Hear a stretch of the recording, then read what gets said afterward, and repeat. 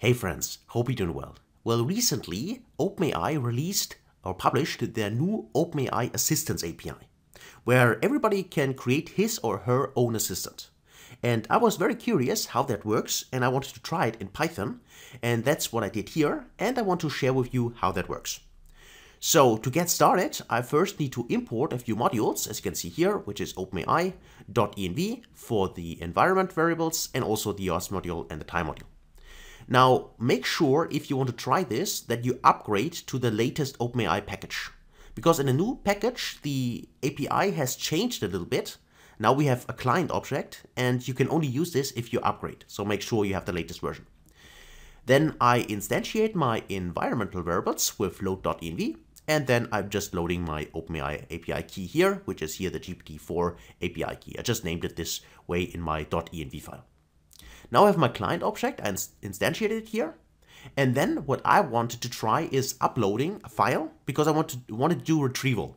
Retrieval means that I uploading actually I'm uploading a file or several files and then I ask the new assistant which I create about the content of the file.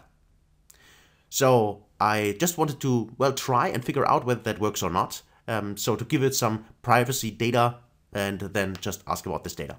So for that, we need to uh, create a file object here, which is client.files.create, and then just point to the relevant object, which in my case is a story, a PDF document here, which I read in binary, and the purpose was for the assistant. So this is just, you basically start the assistant, at, at the beginning of the assistant, you just add a file to the assistant, so the assistant can read this file and has the information in the file, right?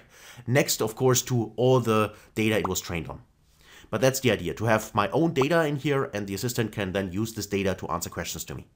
And by the way, this story I created with ChatGPT. So it was just a fictional story which I uploaded because this just makes sure that uh, this is really data which uh, the new assistant doesn't know, right? If he and then I wanted to try because I wanted to know, can you really answer the question? Because this is not available on the internet. This is just a, a, a story which um, ChatGPT came up himself in another um, session, which I tried that. And so the, the assistant doesn't know that. Okay, so far so good. Now next, I in, uh, need to create the assistant simply by client.beta, because it's currently in beta status. Um, so assistant.create, and then I just name my assistant, I call it PyAssistant here, and then you can give it some instructions. I was really basic here, just said you're a helpful assistant, and then I gave it tools. Now the tools, this is very interesting because in the tool section we can say what kind of tools should the new assistant which we create uh, actually have. And tools currently can be three things.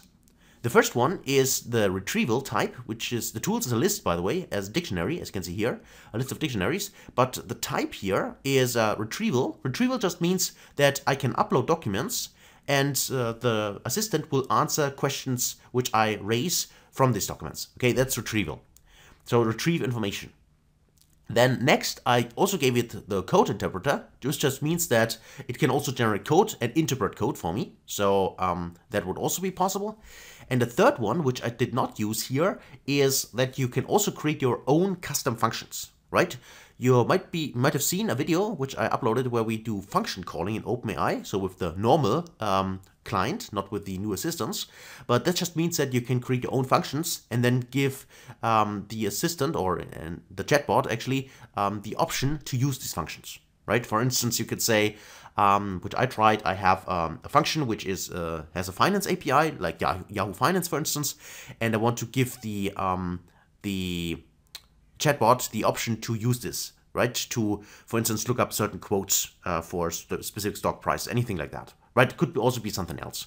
Um, but this would be the third option that you add functions to here, and here as tools. And you just put it in a dictionary uh, as a list.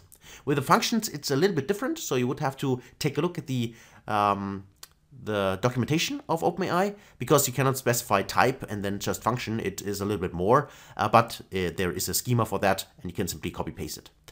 Then you define the model, and I'm used here the latest one, the GPT-4 1106 preview. And then for the file ID, it's very important that we add the file.id, which is the object which is created here.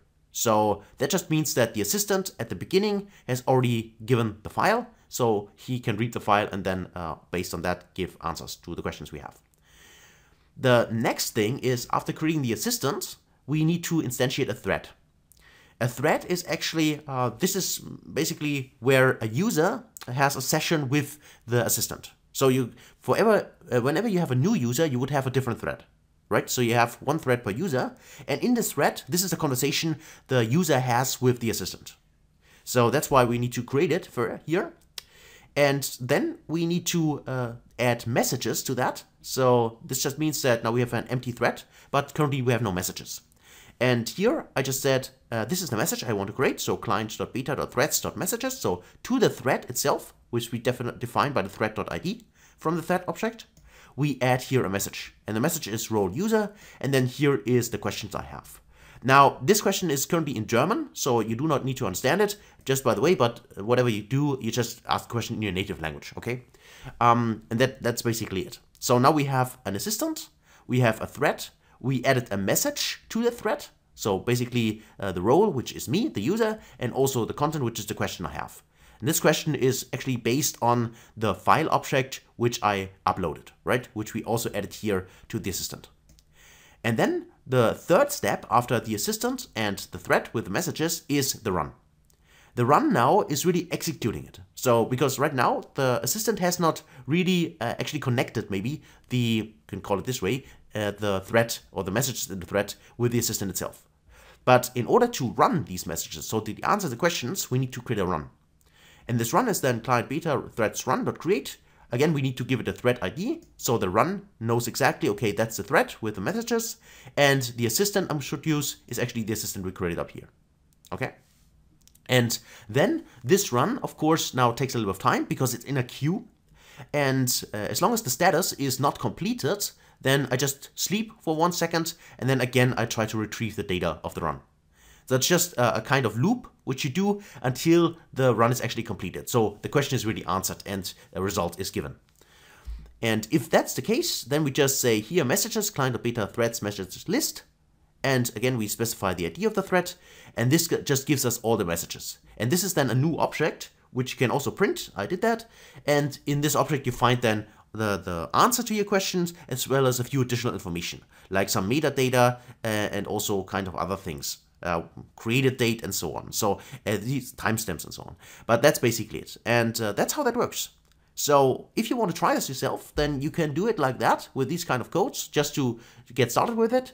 Um, one thing to mention is that you need to buy some credit um, to use it because you can see here, of course, I uh, used the uh, GPT-4 model and for that I needed to uh, buy a little bit of credit on the OpenAI website, but um, just to explore it, it really is not very uh, expensive because I did that, I ran it around 10 times or 20 times, I'm not sure, and I paid around 5 to 10 cents. So it's not really expensive um, to give it a go and try this out.